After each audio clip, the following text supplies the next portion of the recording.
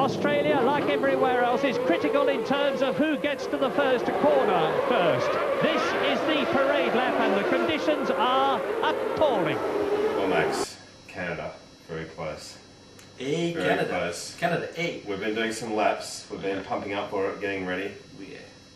And uh, as usual, there's lots of things to talk about with the news and things, but we had a couple of things that we picked out that were quite interesting. And the first one is the Finnish drivers, Hakkinen and Raikkonen.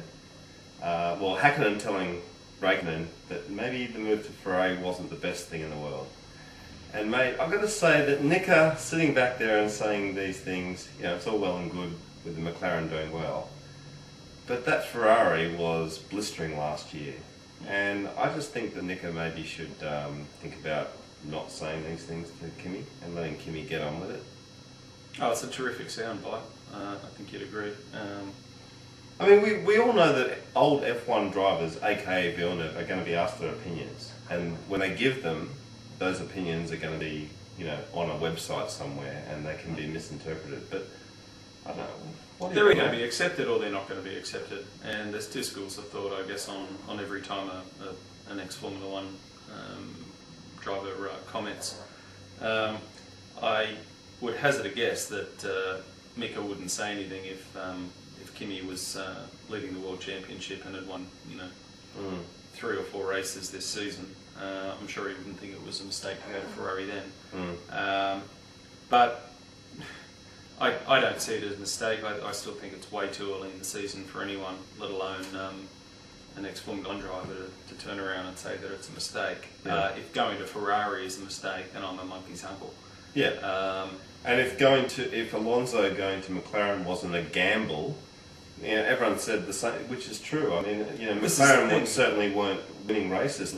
Absolutely. Yeah, and- I mean, McLaren had uh, you know two or so years of a, a below par uh, car, Mm. and uh, Kimi went to a race-winning Ferrari team.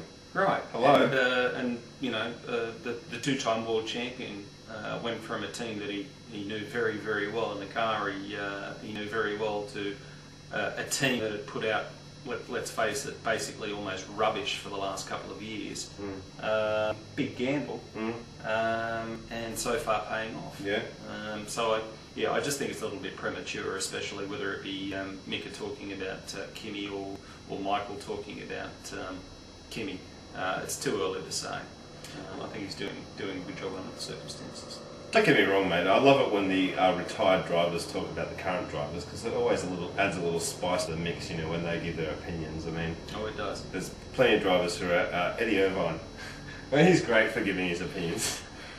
No, he's You know, long after he's gone, he's still going to put his two cents worth in about driving a Formula One car. yeah, Formula One. Thanks, though, Eddie. Formula One though is a is a sadder place without um, with Eddie because we all need someone to have a giggle at. Although Ralf Schumacher's doing a really good job at that at the moment. Mate, there's anyway. there's plenty of comedy things going on, and we had a little. We, we I like Eddie though. I like Eddie. Yeah, oh yeah, it's all good. But Eddie, um, Eddie aside, Max, uh, we, we saw a comedy piece today that we liked, which was uh, Heikki talking about Piquet Jr. Doesn't like him, mate. I don't like him. I love these spats. Gee, I wonder. F1 spats. Oh, Isn't it great? I mean, um, uh, Piquet Junior's made uh, no, no. Um, he, he hasn't hid the fact that he wants a race seat uh, in 08, Yeah. and uh, he's the current test driver for uh, for Renault. And uh, I'm sure he's whispering in a lot of people's ears that I could do better than Heikki. Yeah, I'm better. Um, yeah. I'm better, I'm quicker and faster, and so on and so on and so forth. So it comes as no surprise that uh, that Heikki's turned around and said, "I don't really like him." Well, let, let's face it, everyone at Renault's under pressure, and Heikki's trying to relieve a bit of pressure, I think, by, I'm tough. I've got balls. by saying that he like doesn't him. like someone else in, inside the team. You know, just to make things better inside the team, just start a little another little spat. But, See that like Pep, Yeah. and uh, you know, but it but it works. I mean, uh, Heikki, I'm afraid you're just going to have to share the love, mate. And the only way you're going to keep your seat next year is if you drive the rails off that car Mm.